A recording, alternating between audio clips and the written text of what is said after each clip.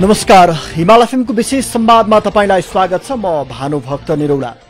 श्रोताबिन हिन्दू नेपालीहरूको महत्त्वपूर्ण चाड र महान चाड बडा क्रममा हामी छौँ र भोलिबाट विधिवत रूपमा बडा दसैँ सकिँदैछ। चाडबाड सकिएसँगै नेपाली राजनीति फेरि नियमित प्रक्रियामा फर्कँदैछ। नेकपाको सचिवालय बैठक जारी रहेको छ। नेपाली कङ्ग्रेसले दसैँ लगत्तै प्रतिपक्षीको भूमिका कडा रूपमा निभाउने र सरकारको कडा सडकमा विरोध गर्ने जनाइरहेको छ। सँगसँगै मधेस केन्द्रित दलहरूले फेरि एकपटक संविधान संशोधनको एजेन्डालाई उठाउँदैछन् र राजपाले यदि संविधान संशोधन नभए छठ लगत्तै सरकारलाई दिएको समर्थन फिर्ता गर्ने चेतावनी दिइसकेको छ। सङ्घीय समाजवादी फोरम यो अवस्थामा के गर्छ त? समग्र राष्ट्रिय राजनीति र खास गरी आदिवासी जनजाति र मधेसीका राजनैतिक मुद्दाहरू यतिखेर कहाँ पुगे? यावत विषयमा बहसका लागि हामीसँग हाम्रो स्टुडियोमा आज अतिथि हुनुहुन्छ। सङ्घीय समाजवादी फोरम नेपालका केन्द्रीय सदस्य एवं प्रवास सङ्गठन इन्चार्ज आङकाजी शेर्पा किसान। स्वागत छ यहाँलाई कार्यक्रममा। धन्यवाद। अ, हिमाल एफएम सुनिरहनु भएको सम्पूर्ण लाखौँ श्रोताहरूलाई साथै लाइभ हेर्नुभएको दर्शकहरूलाई म जनजाति अभियन्ताको नाताले पहिचान पक्षधर एउटा नेताको नाताले सबलाई सङ्घीय अभिवादन टाँसीदली शेर्पा प्रदेशबाट व्यक्त गर्न चाहन्छु। अब तपाईँ एउटा जनजाति अभियन्ता हजुर। तपाईँको अभियान त फोरमसँग साट्नु भयो नि होइन? फोरमसँग साटेको होइन। फोरम र हाम्रो अभियान मिलेको हुनाले हाम्रो बिचमा एकीकरण भएको। तर हिजो सङ्घीय समाजवादी पार्टी। हुँदा जुन जुन एजेन्डा तपाईँहरूले उठाउनु भएको थियो जुन अस्तित्व तपाईँहरूको थियो। तर आज फोरमसँग मिलिसकेपछि त्यो अस्तित्व तपाईँहरूले बचाउन सक्नु भएन नि त। एकदम। हाम्रो पार्टी सङ्घीय तत्कालीन सङ्घीय समाजवादी पार्टी र मधेस जनाधिकार फोरम र खस समावेशी राष्ट्रिय पार्टी बिचको एकताको मूल आधार भनेको संविधानमा उत्पीडित जाति समुदाय वर्ग लिङ्गको मुद्दाहरूलाई कसरी सम्बोधन गर्ने गर्ने भन्ने बारेमा त्यसको सैद्धान्तिक पक्षदेखि लिएर व्यावहारिक पक्ष बिचमा हाम्रो एकता अथवा मिल्ने आधार देखेकोले नै हामी यो तर जनजाति मुभमेन्टको एउटा आधारमा तपाईँको पार्टी खडा भयो। लास्टमा त्यो मुभमेन्टै लगेर तपाईँले फोरमलाई बुझाइदिनु जनजाति मुभमेन्ट पनि हामीले जीवित राखेका छौँ। साथमा जनजातिको मुभमेन्टले मात्र यो देशमा परिवर्तन गर्न सक्दैन। सङ्घीयता ल्याउने मूल समुदाय भनेको मधेसी समुदाय हो। त्यस कारणले मधेसी मूलका चाहिँ नि पार्टीसँग पनि हाम्रो एकीकरण हुन आवश्यक छ। मात्रै नभएर अठार पर्सेन्ट जनसङ्ख्या भएको क्षेत्रीयकरण गरेर आर्यहरूले विशेष गरी विभेदमा पारेका खसहरूको पनि अस्तित्व हामीले आवश्यक छ भन्ने स्वीकारेर तिनवटा चाहिँ नि भनौँ न तर तपाईँहरूले जे। मुद्दा बोके पनि अलिक खिचडी जस्तो भयो कि। छैन एकदम। हाम्रो क्वाटी भन्छ नि क्वाटीमा तपाईँको हाम्रो सबै चाहिँ थोक मिसाए पनि त्यो सबै चिजको अस्तित्व बोध हुन्छ। त्यहाँ दालको पनि अस्तित्व त्यहाँ सिमीको पनि अस्तित्व देखिन्छ। यो हामी कुन चाहिँ एउटा आजकल एउटा कुनै एउटा सर्वोत्तम पिठो भन्छ सबै एक ठाउँमा मिसाएपछि त्यसको त्यो सबै चिजको अस्तित्व समाप्त भएको होइन। हाम्रो भनेको खाँटी क्वाटी जस्तो। सबैको अस्तित्व देखिने सबैले मिश्रण गरेर खाँदाखेरि एकदम स्वादिष्ट र एकदम पोसिलो पनि हुने। तर तपाईँलाई एउटा आरोप छ नि अशोक राई जस्ता एउटा ज्वलन्त राजनीतिज्ञ राजनेताहरूको राजनैतिक भविष्य पनि तपाईँले चाहिँ सक्दिनु भयो भन्ने आरोप पनि तपाईँलाई छ नि। अशोक राईको भविष्य होइन आज कहाँ छ अशोक राई होइन अशोक राई एकदम ठिक ठाउँमा हुनुहुन्छ। हाम्रा पार्टीको एकदम वरिष्ठ जन श्रद्धेय नेता हुनुहुन्छ। उहाँले बारम्बार उहाँले भन्नुभएको छ यदि मैले राष्ट्रपति मैले चाहिँ पाउने होला एमालेमा बसेर प्रधानमन्त्री पाउने होला मलाई त्यसको चिन्ता छैन। जबसम्म यो देशको उत्पीडित जाति समुदायको मुक्ति सम्भव छैन मैले राष्ट्रपति पाएर मैले प्रधानमन्त्री पाएर केही हुनेवाला छैन। उहाँलाई त्यो त्यसको त्यस्तो खालको व्यक्तित्वको पछाडि हामी छौँ। र उहाँ उहाँ हाम्रो लगायत उहाँको एउटा पङ्क्तिको राजनीति समाप्त? भएको छैन। मैले भने हाम्रो पार्टीभित्र अशोक राईजी हाम्रो के अरे वरिष्ठ के वरिष्ठ नेता हुनुहुन्छ उपेन्द्रजी हाम्रो श्रद्धेय अध्यक्ष हुनुहुन्छ राजेन्द्र श्रेष्ठ हुनुहुन्छ युवराज कार्की जस्ता जने महान नेताहरू। म त भन्छु कि यी चारवटा नेतालाई एक ठाउँमा राखेर अन्य पार्टीका नेताहरूले सँग राख्यो भने बौद्धिक क्षमताको आधारमा तराजुको ढक चार गुणा हाम्रो तर्फ पल्ला त्यो त लाग्यो। अस्ति चुनावमा जित देखियो नि त। चुनाव भन्ने कुरो सुन्नुहोस् चुनाव भन्ने कुरो कतिजनालाई हार। हिजो त्यत्रो चाहिँ दुई तिहाई मत हारेको एमाले कोही केन्द्रीय सदस्य भए हारेका थिए कोही के एमालेको सदस्य सक्यो त सकेन। काङ्ग्रेस हिजो बहुमतको सरकार गठन गर्ने काङ्ग्रेस अहिले तेस्रो पार्टी भयो सक्यो त सकेन। तर सँगै जस्तो एमाले तपाईँले छोडेर सङ्घीय समाजवादी फोरम बनाउँदै गर्दाखेरि हजुर। जो जो नेता हुनुहुन्छ धेरै नेताहरू एमालेमा होइन धेरै फर्केन। उहाँ जिम्मेवार फर्केन फर्केन। यसमा। पुरो तपाईँसँग मेरो जुन असहमति छ। फर्केको भन्दाखेरि तिनजना नेता फर्के। जसलाई चाहिँ नि एकदम पदलोलुप्ताको त्यो प्रलोभन दिएर पदिया जुन जे के अरे लो प्रलोभनमा अलिकति चाहिँ नगद नारायणको प्रलोभनमा फसाएर लगे। ती मानिसहरूको हालत अहिले एमालेमा के छ त्यो हामीले प्रश्न देखाएको छौँ। तर तपाईँहरूको मुभमेन्ट पनि नगद नारायणले चलिरहेछ भन्ने आरोप नगद? नारायणहरू हाम्रो पार्टीको जुन भूमिका नगद नारायणले चलेको छ भन्ने कुरा तपाईँले चाहिँ हाम्रो पार्टीले अहिले जुन ढङ्गले एउटा घर भाडा चाहिँ तिर्न सकिरहेको अवस्था छैन यो कुरालाई तपाईँ हाम्रो घरपट्टि पार्टीको। एउटा कुरा तर जुन तपाईँहरूलाई ब्याक जसले सपोर्ट गरिरहेको छ अलि युरोपियन चलखेलमा आङ्काजीको राजनीति टिकिरहेछ भनेर यो युरोपियन डलरको बारेमा मैले धेरै चोटक मैले तथ्याङ्क दिएको छु। नेपालमा भएका सङ्घ संस्थाका एउटा महासङ्घ छ गैर सरकारी संस्था महासङ्घ भन्ने। ती संस्थामा छत्तिस हजार चाहिँ संस्था दर्ता छन्। ती संस्थाका सम्पूर्ण सञ्चालकमा एमालेका महान नेताका श्रीमतीहरू हुनुहुन्छ। अनि उहाँहरूले सरकारको ढुकुटी र वैदेशिक जने उसबाट कति जने अर्ब पैसा भित्र आउँछ त्यो तपाईँ लेखाजोखा गर्नुभयो भने तपाईँ जिब्रो टोक्न थाल्नुहुन्छ। हामी सङ्घीय समाजवादी पार्टीको त्यो संस्था त हामीले खोलेको पनि छैनौँ। तर जनजाति मुभमेन्ट तपाईँले जुन अनि चलाउँदै जनजाति मोभमेन्टमा जनजाति महासङ्घ महासचिव हुँदाखेरि हामीलाई त्यहाँको भनौँ न उसको भाषिक उसको सांस्कृतिक धार्मिक उसको सशक्तिकरणको लागि के भन्छ विदेशी दाताहरूले होइन त्यो पनि नेपाल सरकारको स्वीकृति लिएर केही सहयोग दिए। पछि त्यो जनजाति आन्दोलनमा यो पैसा खर्च गर्यो भने आरोप लगाएर त्यो पनि काटे। भनेपछि जनजातिमा पनि त्यस्तो खालको जाने खालको विदेशी सहयोग आउ आयो भन्ने कुरा पनि त्यो सरासर झुटो हो। तपाईँहरू स्वतः स्फूर्त मुभमेन्ट गरिरहनु भएको छ। हामी आफ्नो मानव खाएर। आफ्नो घरको चाहिँ के भन्छ छानोमा बसेर यो आन्दोलन उठाइराखेका छौँ। यसमा कुनै विदेशी निकायको हामीसँग साथ सहयोग छैन। तर तपाईँका अभिव्यक्ति अलिक कडा हुने गर्छन् अलिक उशृङ्खल हुने गर्छन् समाज भड्कायो भनेर राज्यले तपाईँलाई एक्सन लिइसक्यो। तपाईँ अझै पनि गर्नु भएको छैन थाक्नु भएको छैन? अब भड्काउने भनेको हामीले बा- मैले बारम्बार हामी भनेको अचानो। दुई? सय पचास वर्षदेखि हामी खुकुरीको मार सह- सहँदै रहेको अचानो। खुकुरीले त मार हान्दा त आवाज त ऊ छप्काएको आवाजमा त छप्पा आवाज आउँछ। आखिर जब त्यो खुकुरीको धार चाहिँ अचानकमा ठोकिन्छ त्यहाँ ठुलो आवाजको उत्- उत्पन्न हुन्छ। त्यस कारण उत्पीडित जाति समुदायमा आक्रोश छ उत्पीडित जाति समुदायमा पीडा छ। मैले बारम्बार भन्दै गर्छु पाँचवटा पुरुषबाट आज निर्मला पन्त जीवित रहेको भए आज आँखाबाट आँसु चाहिँ झार्दै यो मेरा आवाजभन्दा चार गुणा आवाज चाहिँ निकालेर बलात्कारलाई फाँसी दिनुपर्छ भनेर आवाज उठाउँथ्यो होला। के उसलाई हामीले चाहिँ यो उच्छृङ्खल बढी आवेशमा आएर कुरा गर्न भन्न पाइन्छ। त्यस उत्पीडित जाति होइन, उत्पीडित जाति समुदायलाई आफ्नो अभिव्यक्तिहरू दिँदाखेरि उसलाई पीडाबोध हुन्छ उसलाई आक्रोश हुन्छ उसमा विद्रोही भावना हुन्छ ती अभिव्यक्तिहरू निश्चित रूपमा कुटनीतिक भाषा प्रयोग भन्दा पनि एकदम सिधा आम जनताले बुझ्ने भाषामा प्रयोग गर्छ त्यसलाई अन्यथा ढङ्गले व्याख्या पनि गर्नुहुन्न। तर तपाईँ अरू जाति अरू सम्प्रदायप्रति अलिक बढी कठोर ढङ्गले प्रस्तुत हुँदै आउनु भएको मे मैले भारम मेरो विरोध बाहुन जातको विरोध मैले गरेको छुइनँ। धर्मको हिसाबमा मैले हिन्दू धर्मको विरोध पनि गरेको होइन। भाषाको विरोधमा गोर्खाली भाषाको विरोध मैले विरोध गरे के को त त्यसो भए? मैले विरोध गरेको पनि होइन। मैले समानताको अधिकार मागेको जति गोर्खाली भाषालाई भनेपछि आङ काजी शेर्पा आजका दिनमा साम्प्रदायिक द्वन्द्व र हिंसा फैलाउने पक्षमा छैन। समानताको पक्षमा छु। मैले भनेको छु जसरी तपाईँको व्यवहार त त्योतिर उत्प्रेरित भइरहेको देखिन्छ त्यो। मानिसले मोडेका व्यवहार हुन्।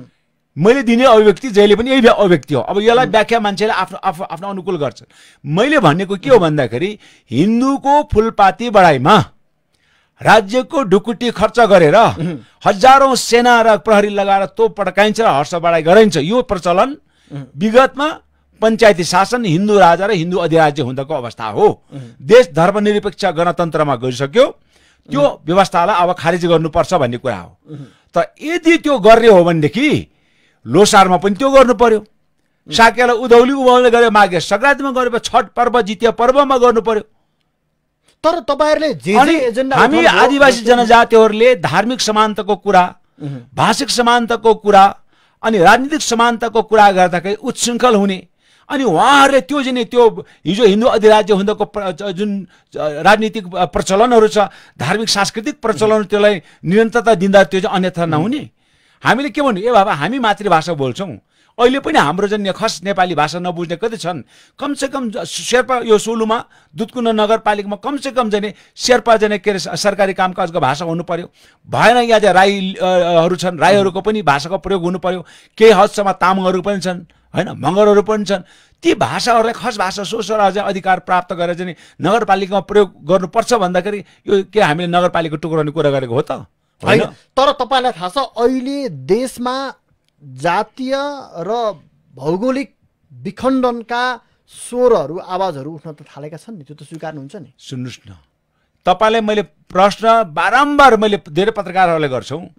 यो देश हिजो पूर्वमा टिस्टा पश्चिममा किला काँगडा पुगेको देश अहिले छिया छिया भएर अहिले हामी एकदम साँगुरिएर एउटा सानो नेपालमा हिजो ग्रेटर नेपाल अहिले सानो नेपालमा आएको छ।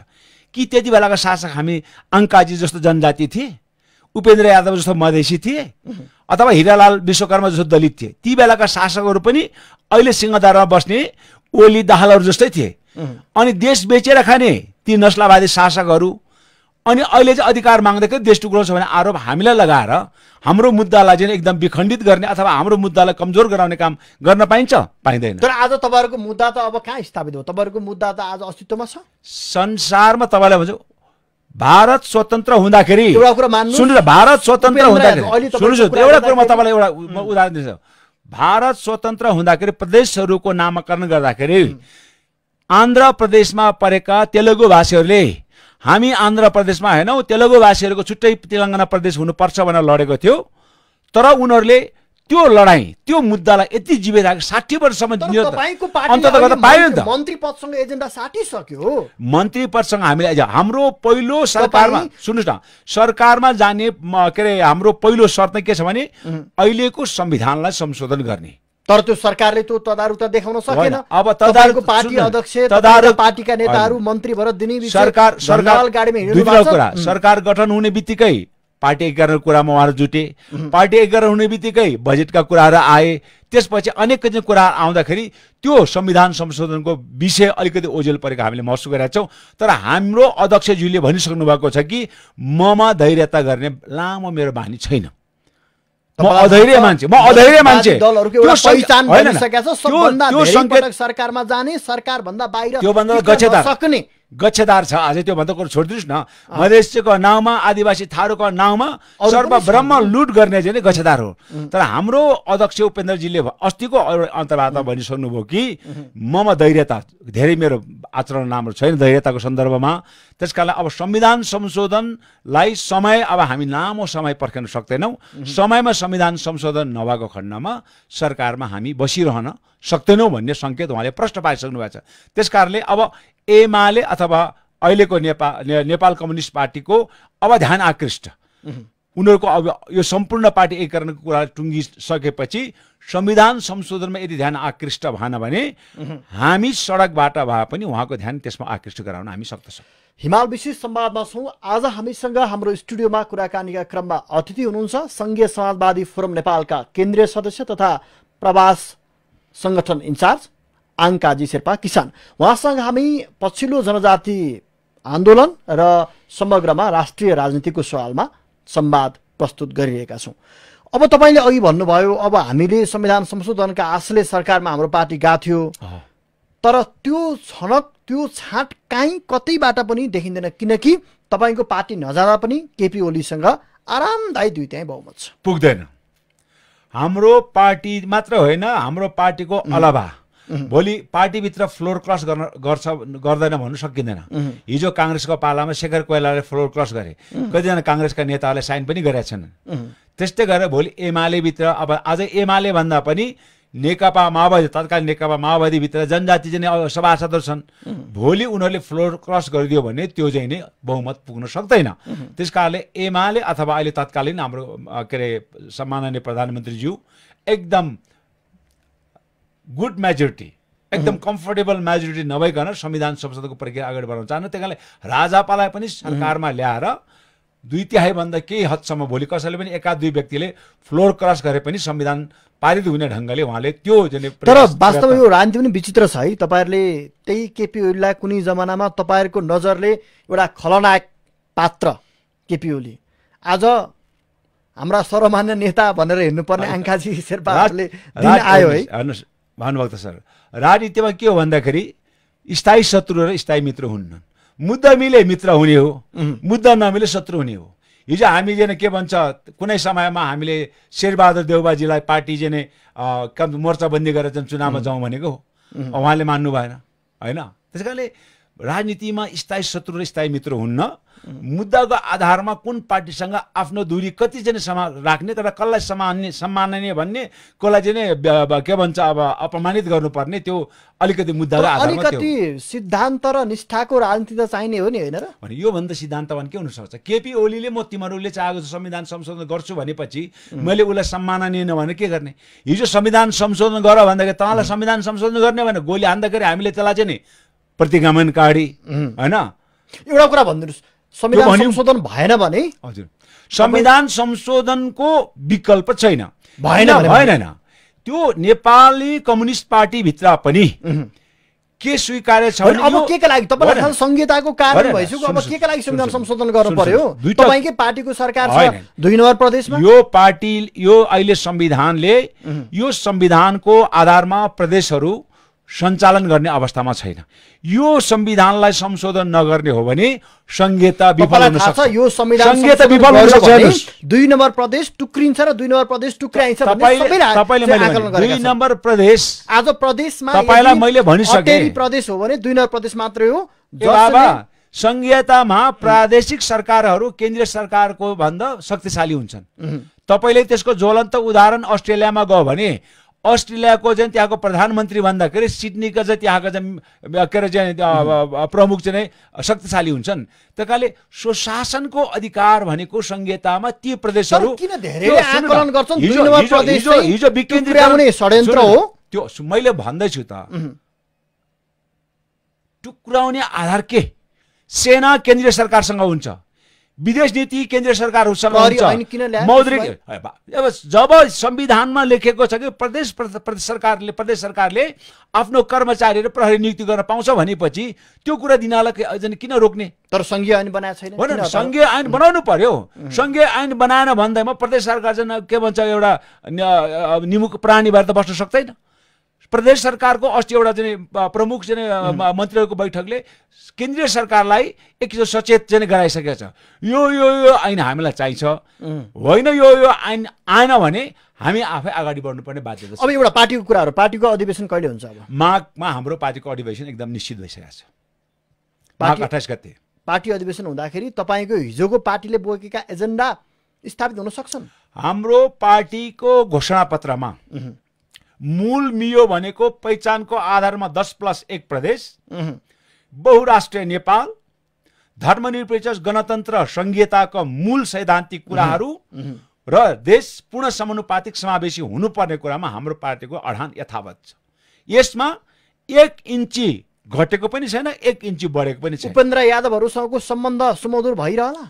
उपेन्द्र यादव हिजो मधेसी जनाधिकार फोरमको अध्यक्ष हुँदाखेरि ऊ मधेस मूलका नेता थियो भने अहिले उपेन्द्र यादव केपी ओली र प्रचण्डभन्दा पनि महान व्यक्तिको रूपमा ऊ अहिले हिमालदेखि पहाडदेखि तराईसम्म उसको जय जयकार भएको छ। किनभने उसको आवाजमा हिमालका कुरा पनि प्रतिबिम्बित छन् पहाडका कुरा पनि प्रतिबिम्बित छन् तराईका छन् र इभन यो देशका शासक समुदायका मानिसहरू जो वर्गीय उत्पीडन र लैङ्गिक उत्पीडन छ उसका पनि मुक्तिको कुरा। जनताले अनुमोदन गर्नु पर्यो तपाईँले भने गर्नलाई जनताले अनुमोदन काङ्ग्रेस र एमाले कहिले गरेको थियो भन्नुहोस् न। कमसे कम काङ्ग्रेस र एमाले जनताबाट अनुमोदित हुन अनवरत रूपमा बिस वर्ष काम गर्नु पर्यो। बल्ल जनताले पत्याछन् अहिले पनि जनताको बिचमा कुरा जनताको मान मनस्थितिलाई परिवर्तन त्यति सजिलै हुने भयो देशमा राजनीतिक चाहिँ कसले गर्छ भन्नुहोस् न। निश्चित रूपमा जनताको भावनाको बिचमा पुग्न कठिन तपस्या योग यो यो योगको आवश्यक छ। त्यो योग र तपस्यामा हामी अनवरत रूपमा हामी लागिरहेका छौँ र हामीलाई पूर्ण विश्वास छ। जति जनताले हाम्रा मुद्दाहरू बुझे कसैले पनि यो सङ्घीय समाजवादी पार्टी गलत छन् उपेन्द्र यादव गलत छन् के अरे हाम्रो जुन युवराज कार्की अशोक राई राजेन्द्र श्रेष्ठहरू यिनीहरू गलत छन् अङ्काजी गलत छन् कहिले पनि बनाएको छन् तिमीहरूको मुद्दा सही छ तर तिमीहरूको सङ्गठन विस्तार हुन सकेछन् सङ्गठनलाई विस्तार गर जनताको घर झोपडीमा पुग आफ्ना कुराहरू राखेर जनताको भावनालाई चाहिँ जित्दै अगाडि बढ भन्ने शुभकामना हामीलाई दिइरहेछन् अनि हामी किन आतिनु पर्ने? हिजो हामी यो यो देशको चाहिँ के अरे एक सय अठाइसवटा पार्टीमा संविधान सभामा प्रतित्व गरेर हामी अठाइसौँ नम्बरमा हामी हामी अहिले देशको तेस्रो पार्टी छौँ.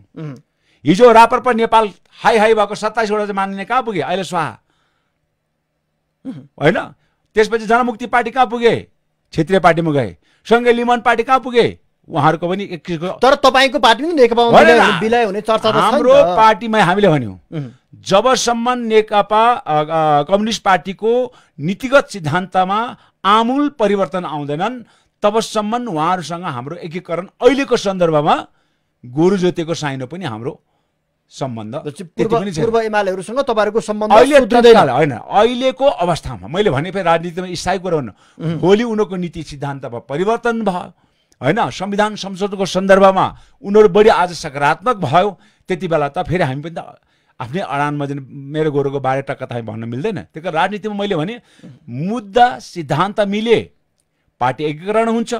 मुद्दा सिद्धान्त मिले एउटा अभियान कार्यक्रम मिले मोर्चाबन्दी हुन्छ। अहिले हाम्रो नेकपासँग भनेको संविधान संशोधन गर्ने शर्तमा एउटा मोर्चाबन्दीको रूपमा तपाईँले अब संविधान संशोधन भएन भने सरकारलाई दिएको समर्थन हाम्रो अध्यक्षज्यूले भन्नुभयो मेरो धैर्यता गर्ने बानी एकदम कम छ र मेरो धैर्यताको पनि सीमा एउटा नाङ्न आँटिसक्यो। भनेको मतलब खाइपाई आएको पद छोड्न त हाम्रो त्यागी नेता तपाईँलाई म चुनौती दिएर भन्न सक्छु।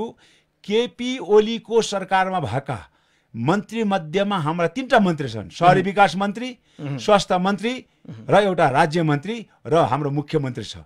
कुनै पनि नेपाली नागरिकले हाम्रो मन्त्रीहरूले गरेको कुनै आचरणको बारेमा औँला ठडाउने चाहिँ चुनौती दिनुहोस्।